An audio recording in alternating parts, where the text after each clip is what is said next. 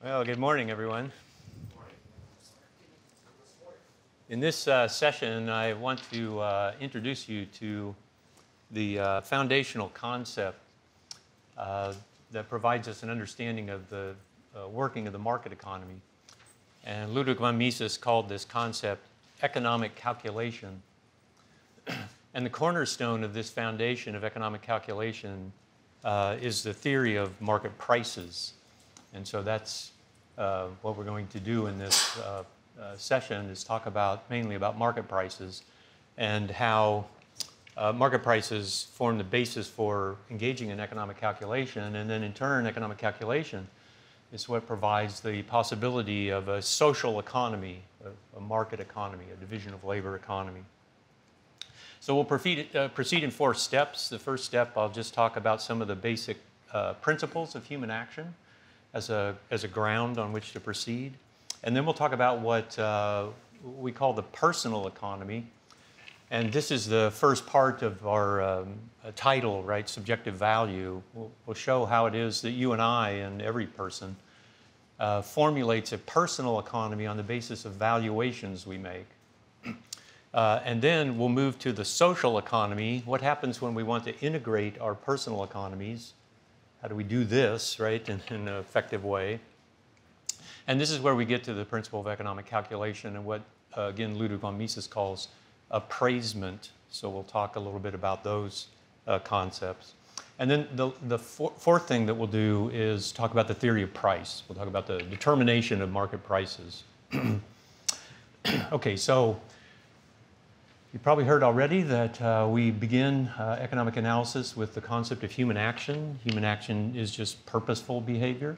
It just means that it's human behavior directed toward the attainment of an end. It's quite obvious upon immediate reflection of this idea that having an end in and of itself does not constitute action. We can have all sorts of ends that are unmet, uh, that uh, we have not yet uh, attained that as human beings, because we're finite beings, we have to uh, first identify and then acquire and then control the use of means in order to act to the attainment of our ends. If we were infinite beings, we could just attain our ends by willing them. so we have unmet ends uh, at any moment in time, uh, or to say this in the more traditional way, the means available to us are scarce and because the means available to us are scarce, we have to choose in action. We have to choose in two uh, uh, dimensions. One is whatever means we happen to possess, we have to choose which ends we'll pursue with those means. And for any given end that we select, uh, we'll have a choice uh, between different combinations of means to attain the given end. So we have the ends means framework of action and the way in which we uh, perceive this as, as uh, actors. So, this is where we get to the principle of, uh, of the personal economy.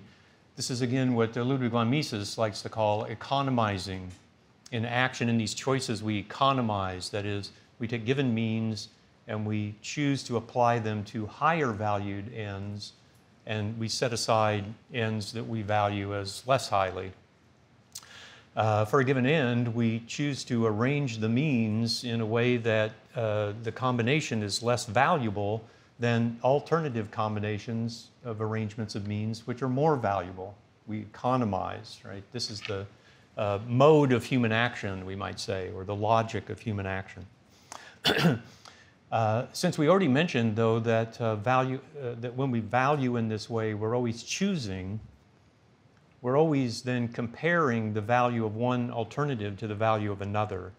And this is what in economic theory we call preference or preferring. And since we're talking about the real action of real human persons, when we talk about preference, we're talking about what uh, Murray Rothbard liked to call demonstrated preference. We're not talking about uh, our uh, thought process of things that we like or don't like. We're talking about what we do in action, how we choose in, in, uh, between the alternatives available to us in action. So our preferences, our, our valuations, in other words, are always demonstrated in action. They're uh, coincident with action. Uh, there are two basic features then of uh, value in, in this uh, logical sense. One is the subjectivity of value. And by subjective, what we mean as economists is that value is nothing more than an intensive state of mind. Value exists only in our minds, it's a state of mind.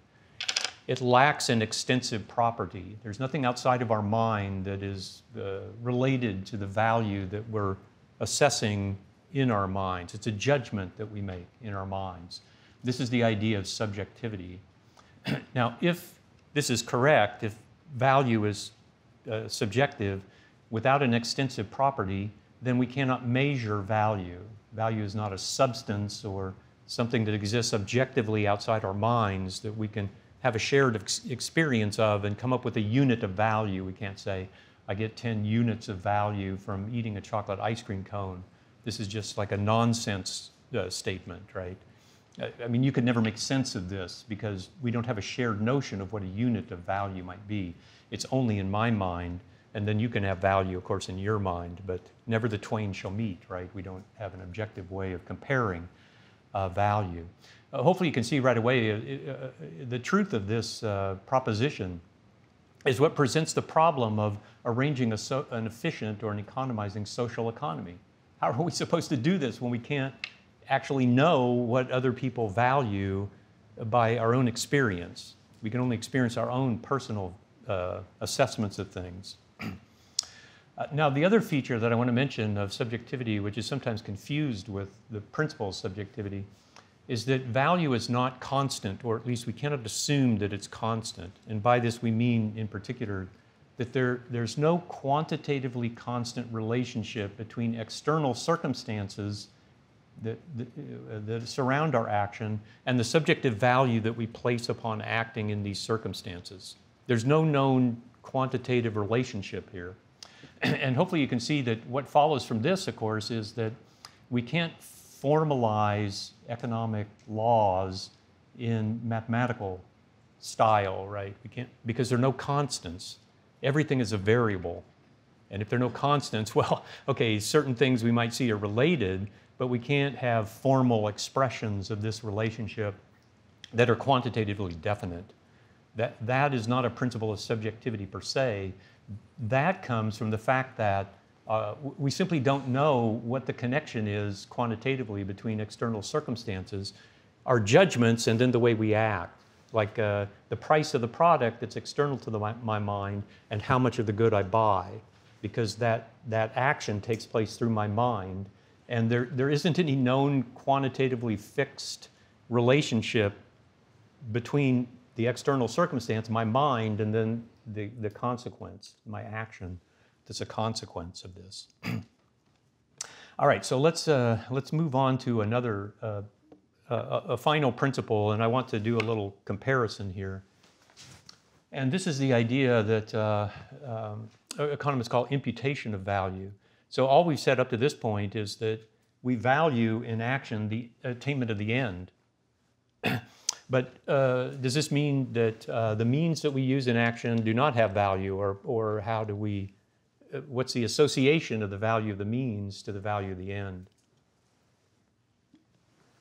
And you'll see in the first line, the top line, is the Misesian view, the Austrian view, which holds to the logic that we've uh, mentioned already. If human action is purposeful, if the point of human action is to attain the end, then the value of the end drives everything else in action logically the value, the value of a consumer good is valued by a person only because it's an aid to the attainment of the end, whatever the end is.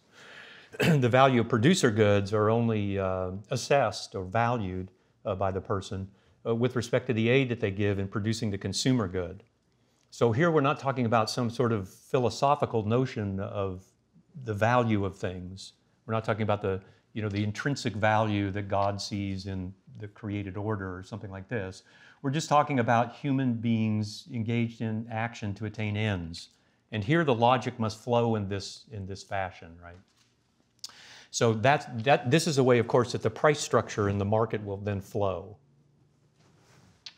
Now, the second line is the British classical uh, way of thinking about the relationship between these things. uh, that, uh, that culminates in Karl Marx, right, in the labor theory of value. Value is intrinsic in the producer good, it's transmitted to the consumer good by production. Our minds assent to this value somehow. It's you know uh, consistent. We see it as consistent with the uh, with the labor embedded in the good. Now we're gonna, not going to go through a long demonstration of why this is false. Uh, I just want to point out that th- this can't be true if our uh, discussion of the ends means relationship is true, right? This can't be true if human action is actually uh, the value of it is centered upon attaining the end. Then, then it can't be the case that the that there's intrinsic value, value separate from that, from some other source in the means themselves, right?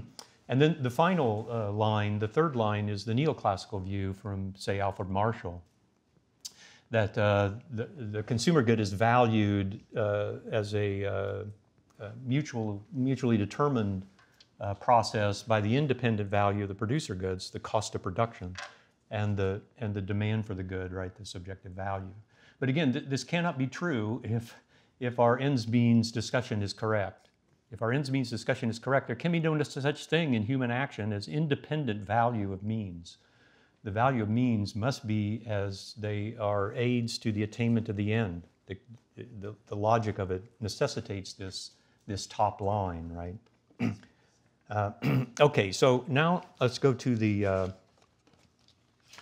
to the next to the next step, we, uh, for our purposes in thinking about uh, market prices, we want to take one more step in valuation. So up to this point, we've just said, remember that each one of us engages in human action. We organize our human actions as a system uh, based upon the way that we value the various ends that we can attain with the various means that we that we have or that we can acquire uh, through uh, activity, right? Uh, production or trade or whatever, uh, whatever the case may be. but there are a few, uh, there are a few uh, important laws of this valuation process that uh, are useful in thinking about how we integrate once we start to integrate our uh, personal economies. And so here's an illustration. And you can see there are two, two separate sets of laws. On the left hand side, let's start there with the laws of utility. or the laws of value. Utility is just another word for, for value in, in the context of economics. So here's a preference rank on the left hand side of equally serviceable units of a good. And the good that I picked is an iPhone SE, so the entry level iPhone. And if a person had just one iPhone SE, the person would allocate it to the most valuable purposes to which they put a, a, smartphone, right? And so the value of that iPhone would be imputed to it according to the value the person placed upon doing those tasks, uh, you know, attaining those consumptive ends. if a person, though, had two iPhones, a second iPhone, that second iPhone would have to have less imputed value than the first because the second iPhone would have to be applied to the person to a less valuable set of activities because the first iPhone is already available to him to accomplish the most valuable, and so on. And in fact, we, we can even see that it, it's possible that a person would have so many units of a, of a given good that it would no longer be scarce uh, to the person, right? And, and therefore they wouldn't value the, the iPhone at all. You imagine Tim Cook if he suddenly uh, uh, uh, embezzled, uh, you, you, know, the 100 million iPhones that are in warehouses someplace and went off to Tahiti. I mean, what, what, would it, what value would he place on losing one of them, right? The answer is zero. So you can see again the logic of this, of this structure. and hopefully you'll notice that this will, this will apply to the law of demand when, when we get to the market. But, and then on the right-hand uh, column, I've, I've, just got one other uh, law the law of the allocation of consumer goods. So we know that we don't act with just one consumer good, right? We don't have just a smartphone, although sometimes I wonder about some people. Um, we do other things. So, so how is it, is there a law, is there a logical principle that we can apply to the understanding of how uh, uh, each person allocates their acts of consumption across different consumer goods they have? Is there something that's always in place logically there? and the answer here is that, as I've uh, suggested, is that uh, a person will allocate different tasks with different consumer goods so that there are no big value differences left after this is done. So in my example, uh, th- this person uses the iPhone SE they have in order to FaceTime with their family. I, I know that that's what you know you're primarily doing with your with your phones, right? You're sitting in your dorm rooms back at your university and you're you're FaceTiming with your poor grandma who's you know eager to see your face and talk with you. Yeah, so you do this for two hours. Why is it two hours? Why isn't it four hours or right? Well, well, it isn't four hours because the marginal utility, the extra value of extending activity along this line would be a lower ranked, right? This means that other activity, which is higher ranked in marginal utility, would then come into play. Let's say, my example, uh, this person uh, goes for a run and takes an hour to do this. Why doesn't the person run for two hours? Well, okay, so you see the principle, right? So we're, so we're always allocating across different consumer goods in this way so that we don't see any big value differences that would allow us to shift out of the low valued activity into the high valued activity and gain overall. That, that's the logic of it. Uh, okay, now, now let's think about producer goods or the laws of producer goods. Remember when we talked about imputation, we said value goes from the mind to the consumer good, then from the consumer good to the producer good, right? The person's imputing along this logical line. So, what about producer goods? Are there laws of the use of producer goods? and here, uh, again, there is an important law on the left hand side, you see it, called the law of returns. So, here my example is suppose this uh, person who has the iPhone lives out in the country, and uh, through the property, he's got some land, and through the property in the woods, there's a stream. And in the stream, he can, he, he can go fishing. So the it's a natural resource, right? And they're fish in the stream. And he's got all the, the uh, consumer goods he needs to go fishing. He's got his, uh, his pole and his line and um, his uh, uh flies and, you know, whatever, whatever he, his waders to go into the stream and whatever. He's got all these complementary factors of production, right? And then he goes into the, into the stream with his labor, and one unit of labor, let's say it's an hour of labor, he fishes and he gets four fish. But hopefully you can see right away that if he continued to do this, if he continued just to apply more and more of a variable input to a fixed input like the stream, he would fish out the stream, right? He would exhaust the physical capacity of the stream. And that's a general principle of all production. If we have a fixed uh, complementary factor of production and we add more and more of the variable factor to it to produce more and more, we'll eventually exhaust the finite productive capacity of the fixed factor, in this case, the stream. It could be a factory, it could be a, a farm, it could, right, anything. This is what we call the law of returns. So the law of returns is a necessary feature of human activity because, again, we're finite beings, right? We live in a finite world. Okay, this has the same implication then as the, uh, as the uh, law of utility that we talked about that diminishes as we engage in you know, having extra units of a consumer good. It means that as we apply more and more of our effort to produce something, we get less and less valuable results. And therefore, we switch to other uh, uh, productive activity because it becomes more valuable as we extend uh, production in, in one line, right? It, it, it, then the marginal value product, as we say, the MVP, of doing something else becomes more valuable. And so that's how we allocate across different productive acts by, by this logic, right, of thinking this way. So in my example, this, uh, this person fishes one, one, one unit of fish, one hour or whatever the unit is, one hour of fishing, gets the four fish, produces the consumer good, fries the fish, eats the fish, right, for dinner, or whatever is going to mounts them on the wall, whatever he's doing with the consumer good and then, and then instead of going fishing for another hour, he, he uh, makes a doghouse. The doghouse takes him two hours, but he, he switches and he, and he goes to the doghouse. Now, would he produce a second doghouse? Would he take another two hours in the day to produce another? No, he doesn't do that. Why? Because the marginal value product of using his labor to produce a second doghouse is not worth very much. He only needs one. He's got one dog. Right. He doesn't need two. So you see the logic of how this works. okay. So, just to sum up on, on the personal economy, if we look at any person, this is the way economists would analyze your behavior or mine. We look at any person, uh, we, we uh, conclude that, um, that their, their personal economy is integrated by them according to their perceptions and intellect, according to how they perceive the world and the possibilities of using, you know, acquiring means and using them and so on. And then by the way that they value uh, the attainment of various ends. so this is the way that we're, we're acting. This is, this is what gives structure and the possibility of economic analysis or any kind of analysis of human action is because, is because we have these principles upon which all human action is based. Now let's turn to the social economy. In the social economy, as we suggested already, each one of us wants to integrate our personal economy with the personal economy of others. That's what the market economy is, right?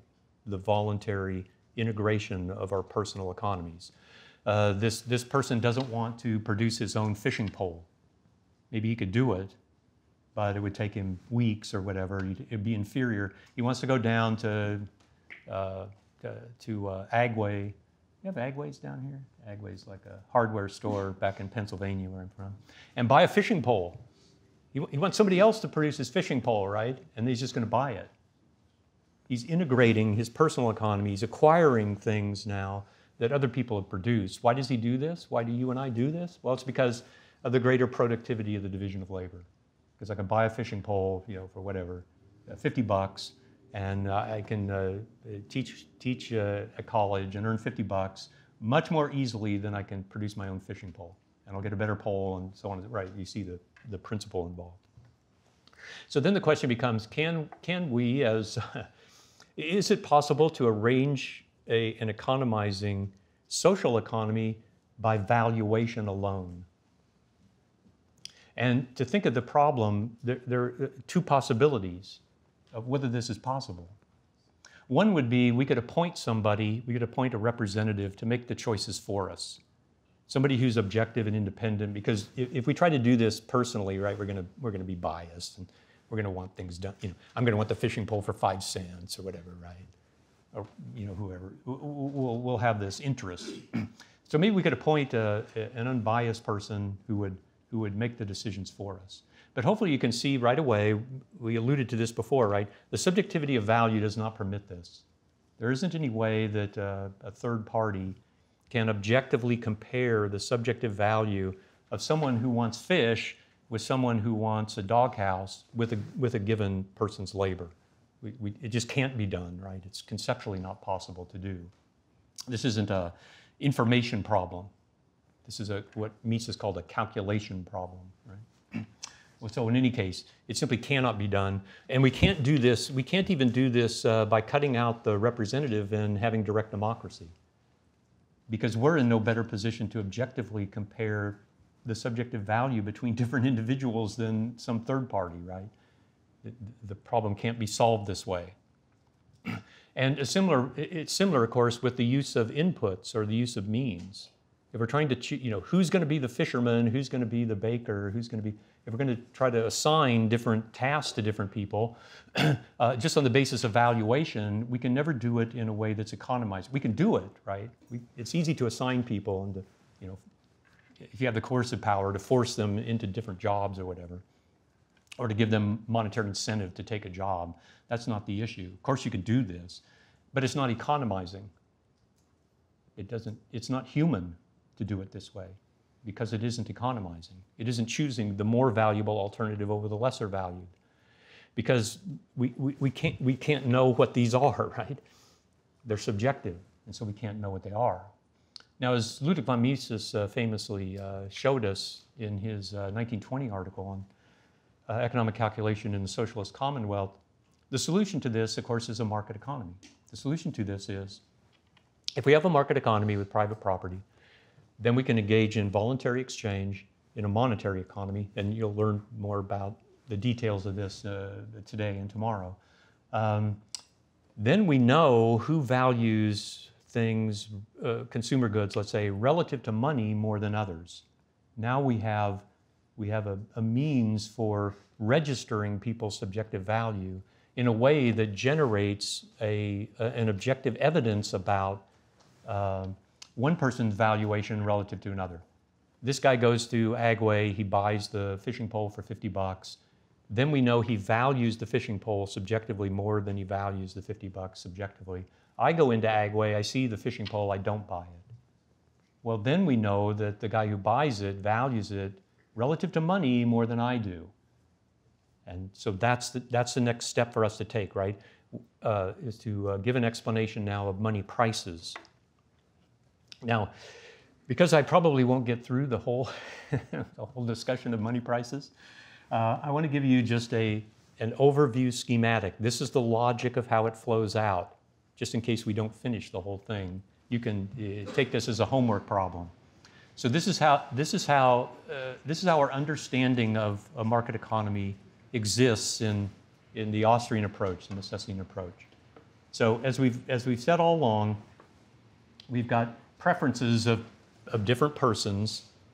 We've got this guy uh, who wants the fishing pole and he goes to Agway and he's got preferences. And, and we've got the owner of Agway who has preferences as well. Preference, you know, he's willing to obtain the $50 and sell the pole. and so we have, we have a demand for the consumer good and supply of the consumer good. And that's the interplay between the two, which we'll talk about in a minute, is what determines the price of that fishing pole. It's $50, not $100, not $5. It's determined by the voluntary exchange activity of people expressing their preferences for things willingly uh, in the market. now, once there are prices of consumer goods, then two effects come from this. One is expenditure for consumers. So the guy who buys the fishing pole, he expends $50, right? He's making expenditures. But the other is the revenue for the entrepreneur. So the entrepreneur, Agway, earns the 50 bucks as revenue. So every time there's an exchange of a consumer good, the seller gets the revenue, the, the buyer gets the good, right? The seller gets the money price, the buyer gets the good. so this revenue that's earned by Agway allows the entrepreneur at Agway to fund the purchase of uh, producer goods. So that's the revenue stream that he needs to fund his expenditures to buy the inputs to uh, have, you know, he, he's just a retailer, but he's buying the pole, right, from a wholesaler, and the wholesaler is buying inputs to produce the pole, and so on and so forth throughout the economy. so that's where we get demand for producer goods. The supply of producer goods just come from the workers and the other produce. It's just preferences, right? And again, we'll show this if we have sufficient time. So that's where you get the wages of the pole making workers, the um, you know the price of the of the uh, fishing line and and the component uh, capital goods that go into making a fishing pole or whatever the product happens to be, the prices of the producer goods. And then the prices of producer goods generate two effects. One is the income for the seller of the, of the uh, producer good. So the worker who makes the fishing pole gets the, the, the uh, wage is, is not a cost, right? It's an income. It's a cost to the entrepreneur. And so on the left hand side, we see the first uh, principle of economic calculation. The entrepreneurs are going to try to generate production of goods where the revenue from the uh, uh, purchase, from the voluntary purchase of the buyers, will more than cover the costs that the entrepreneur uh, incurs in buying the producer goods, right? That's, that then would be economizing, right? Because the producer goods, like this worker, who helps to make the fishing pole, uh, the wage is set by the general market for that kind of labor, which means that other entrepreneurs in other fields are also paying whatever the wage is, $25 an hour or whatever the wage is, to hire workers like this. And so if Agway or if the manufacturer of the pole is, is hiring this worker, what's being given up by other consumers is the value of the things that could have been produced if that worker would have stayed in a different industry. Why doesn't the worker stay in a different industry? Because the, uh, the entrepreneur is paying a better wage or giving better uh, working conditions or whatever, more favorable job opportunity in, in, this, in, in fishing pole production. And so you can see how the economizing structure of the market is formed just by our own uh, attempts to integrate as best we can our own personal economies. Okay, whoops, so let's go to the, let's go to the first uh, part, sorry about that.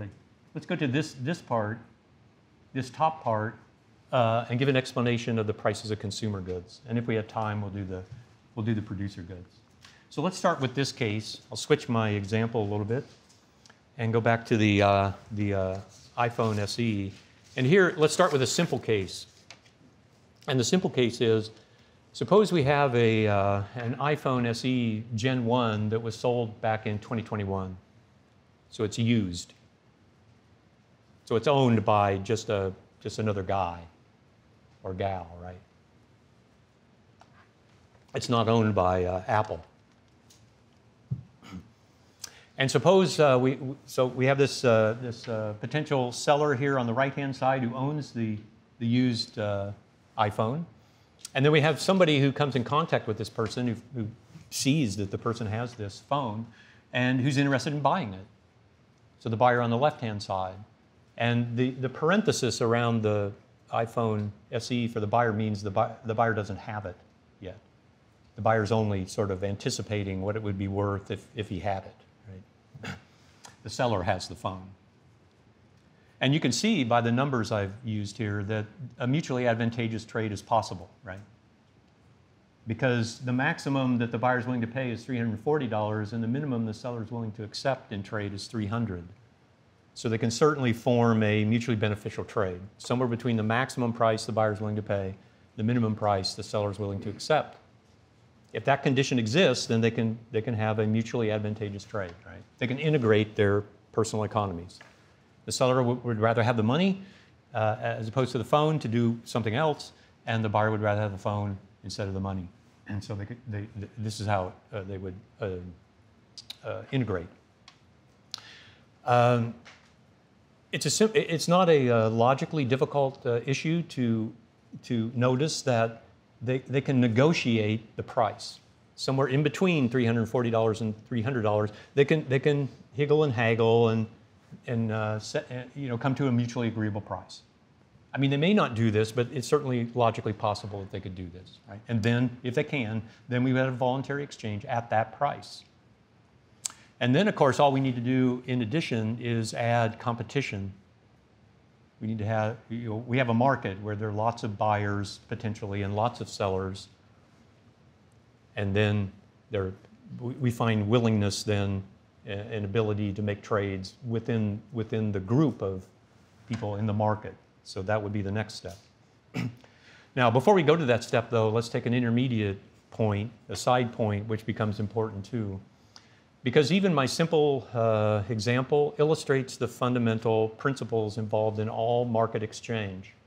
And so this is important to keep in mind. Uh, it doesn't matter what the exchange conditions happen to be. On the demand side, the preference of the buyers then always looks like this, right? The value of the good obtained is greater than the value of the money given up if they buy the good. Now, it could be, of course, that they're just looking and you know potentially buy and they don't buy. But if they buy the good, then at that moment they value the good, the acquisition of the good, more than the surrender of the money. And as far as the value of the money given up, there are two categorical possibilities, right? They could just keep the money for their own personal use, do something else with it, right? or they could uh, surrender the money to a, a more eager seller. Maybe, uh, maybe our iPhone buyer you know, negotiates a little bit with the with this seller that we mentioned, and the seller holds out for three hundred dollars. Well, maybe that puts in the mind to the buyer. Maybe I can uh, whatever go on eBay or uh, extend my circle of friends and find some other uh, potential seller of the iPhone SE who would uh, who would take it at a better price. Who would right? And, and so so so they may they may refuse to trade uh, uh, on, on the basis of that with any particular seller and uh, seek out another one?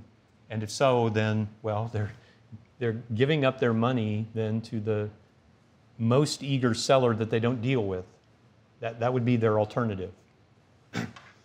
Uh, by the way, we call this, uh, if, if, we had a case where the, and we do lots of times, right, a case where the buyer holds out and doesn't trade, he doesn't give up the money, we call that reservation demand we'll see that term as sort of important uh, in further discussions. And then supply is just the flip side, right? In every act of supply, no matter what the circumstances are, the seller is just engaged in valuation. Is just saying, there's the value of the money obtained, which ranks above the value of uh, keeping the good. And the value of keeping the good could either have a personal use or it could be sold to a, another eager buyer, right? Those are the two categories. So again, Tim Cook has 100 million iPhones in warehouses all over the place. and uh, he's perfectly happy to sell one of the iPhone SEs right now for $429 to anybody who, puts up the money uh, because he has no reservation demand, right? He has no personal use for the 100 millionth iPhone. He, he just wants to, he wants to sell, he's produced it to sell it, not to use it personally. That doesn't mean he couldn't, right? That doesn't mean in the abstract a person couldn't have reservation demand for the, for the good and hold out, just keep the good and not sell it. okay, so those are the general principles. It doesn't matter if it's Tim Cook or if, this, if it's this used iPhone that's just owned by Joe Smith or whatever. These are the general principles always involved. Now let's go back to the market uh, analysis. So this is my example, the market clearing price. Suppose this is uh, July 1st, 2000, uh, uh, excuse me, yeah, 2021. So suppose this was the market uh, a year ago, roughly.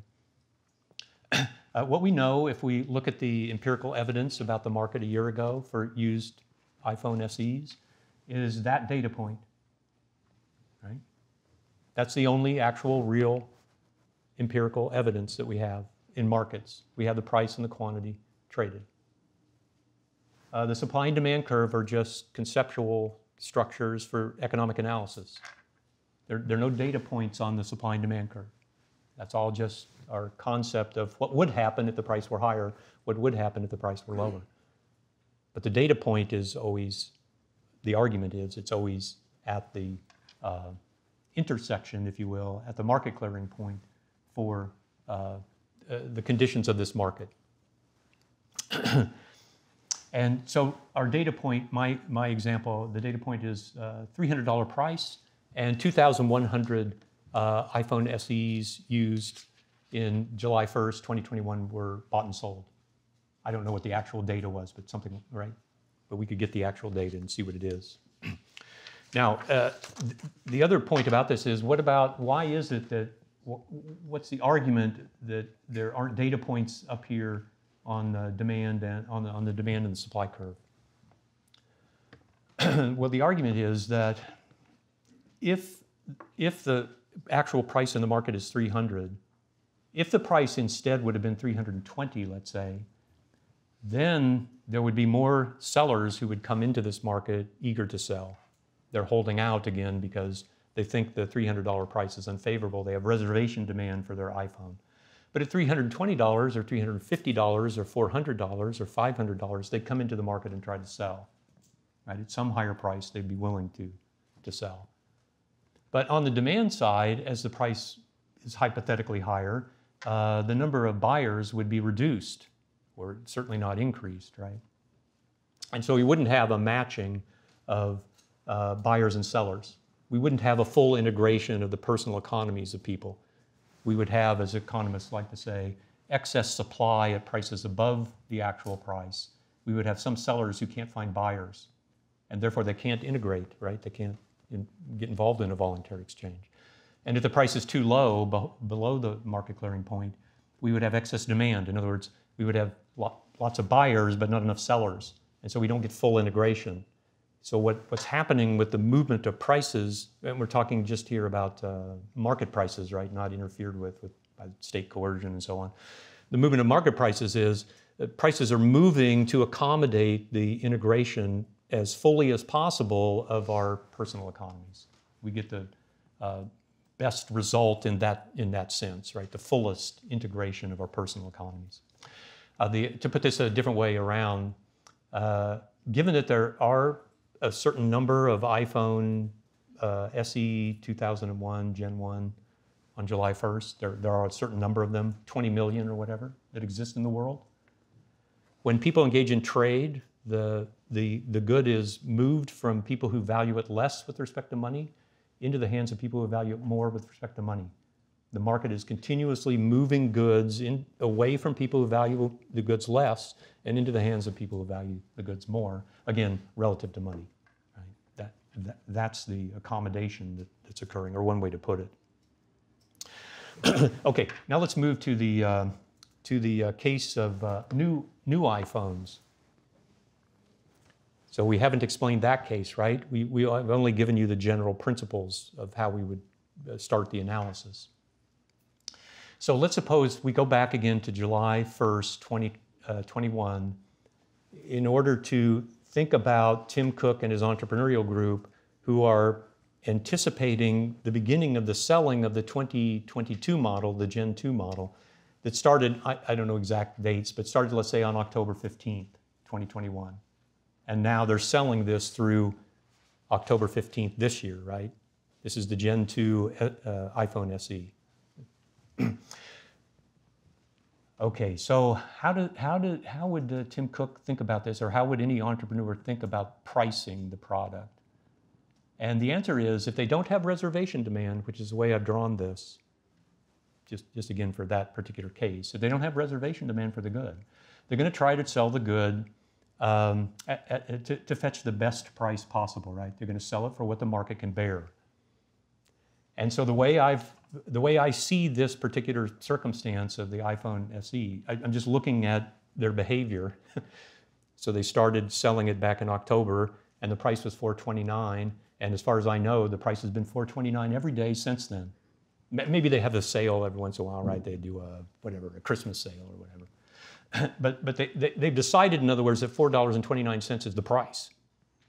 That's the price we're going to sell at. And then we're going to let, uh, we're, uh, we're going to accommodate people as they come day by day to buy at that price. So where do they get the 429 price? Well, they get it by, uh, you know, if we diagram it this way, they get it by their assessment of the fact that they think that if they charge $429 over the production run of, the, of this iPhone, the one year, right, selling run of this iPhone, that they'll get the best, most revenue possible if, if they charged a price of $500, their, they would, uh, their revenue would be less. If they charge a price of $300, their revenue would be less. And then, as I suggested, they can do different things, right? The entrepreneurs can do different things day to day. Once they decide, okay, the sort of price, is, we, we think that the overall market through the selling of this good is going to command a price of 429. They can do what Apple seems to be doing, which is we're going to keep that price the same no matter what. There may be days where you don't sell a single iPhone, then other days where you sell 50,000, but we're going to keep the price at 429. And how are we going to accommodate the people who come to us and want to buy iPhones? And we're going to hold inventory. We're going to produce the 20 million iPhones and we're going to put them in a warehouse. And then every time we get an order, we're going to ship, right? That's how they do it. Or at least it seems that that's what they're doing. Now, they don't have to do it this way, right? They could just say, uh, okay, we've got 20 million iPhones and we're going to sell whatever, uh, uh, you know, say 50,000 each day. And if, if demand is shifting around day to day, we're, we're going to move the price so that the market clears. They could do that, right? They could let the price adjust. Or they could do some combination. The, the, the supply curve doesn't have to be vertical, it could be horizontal. It could be, it could be between the two, right? This is just an entrepreneurial strategy.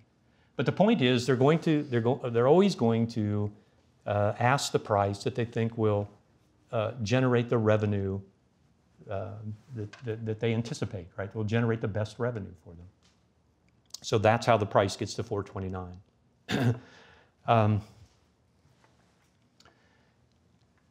let me say one, one last thing. I won't go through the rest of the slides, but uh, about the uh, prices of producer goods. But I'll say one last thing. I put the revenue amount at the bottom, right?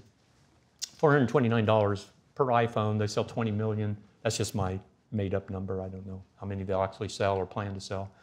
But if that's the number, then it would be 8.58 billion dollars in revenue. And they'll earn that revenue over the year, right? Every day they'll sell some iPhones and that revenue will come in. And just like we explained already, they're earning that over the year. But they incurred the production costs earlier right? They, in fact, incurs the production cost probably um, uh, most of it at least before, before the summer of, of uh, 2021. They're incurring all the production costs first. And so notice when, when they're hiring workers and they're buying materials and they're amortizing the value of their facilities, the, the Foxconn uh, facility in China and so on, the things that they own, right? Uh, they, they uh, when they're assessing the expense of all this, they're, they're doing so only in anticipation of selling the iPhones to generate this revenue. And this is the entrepreneurial foresight dimension, right, that's expressed in the market um, economy that uh, you'll talk uh, quite a bit more about uh, today and tomorrow. So thank you very much for your kind attention. Thank you.